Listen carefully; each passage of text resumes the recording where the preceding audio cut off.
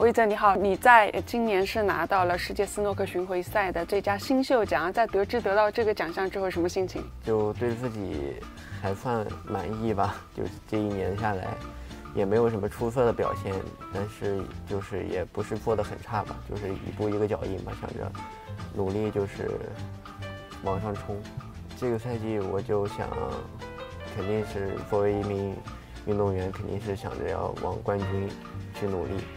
今年初在一场比赛当中看到你是跟呃奥沙利文对决，然后他在比赛完之后，他并没有马上的离开场地，而是走到你面前，看样子像是给你做了一些指导。你跟我们透露一下，他跟你说了些什么吗？呃，我这个英语反正也就是听懂了个百分之三十吧。他的意思就是我天赋还不错吧，就让我就是去努力练球，然后。我会打得很好，他的意思。打球训练和比赛之外，还会打打羽毛球，对吧？对对。为什么会选羽毛球？嗯，羽毛球、保龄球这些，就是我我还是挺热爱运动的吧。就是我觉得打羽毛球能提高，就是反正 就能能练很多身上的部位。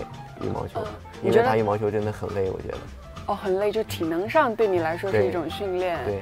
那就它对你打斯诺克会有帮助吗？打斯诺克，我觉得帮助就在于体能吧。练体能。对。你觉得体能对于斯诺克运动员重要吗？因为看似好像并不是太费体力的一个运动，但其实它耗时又很长，对吧？我觉得很重要，体能。因为像长局制的，有时候真的如果体能不好，觉得就是对比赛一些球就感觉。压力很大，然后如果你体能过关的话，我觉得就可以减轻你的压力。跟大家介绍一下你的这个家乡吧。啊，我就是我来自甘肃兰州，然后我们那儿就最有名的就是大家都知道的牛肉面嘛。应该还是会想念国内的一些美食吧？啊，太想念了，尤其是牛肉面。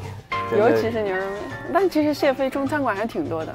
对，中餐馆挺多，但是我觉得味道怎么说呢？就是我。跟国内比，我觉得还是没有那么的正宗。正宗，嗯嗯。